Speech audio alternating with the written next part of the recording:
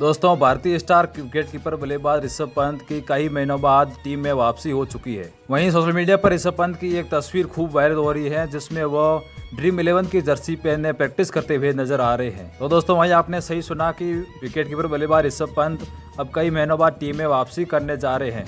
दरअसल दोस्तों वेस्टइंडीज के खिलाफ भारत की टेस्ट सीरीज़ चल रही है, जहाँ पर पहले टेस्ट में बल्लेबाज सुमन गिल ने काफ़ी निराशाजनक बल्लेबाजी की। वहीं भारतीय टीम के सेलेक्टर्स ने सुमन गिल के पहले टेस्ट में खराब बल्लेबाजी के कारण अब पूरी तरह से फिट हो चुके ऋषभ पंत को दूसरे टेस्ट में खेलने का मौका दिया है। बीसीसीआई द्वारा एक फ़ोटो सोशल मीडिया पर अब पोस्ट किया गया, जिसमें सुमन गिल ड्रीम इलेवन की जर्सी पहने प्रैक्टिस करते हुए नज़र आ रहे हैं।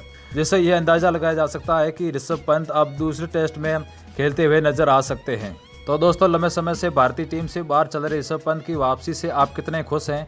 हमें कमेंट करके ज़रूर बताएँ। धन्यवाद।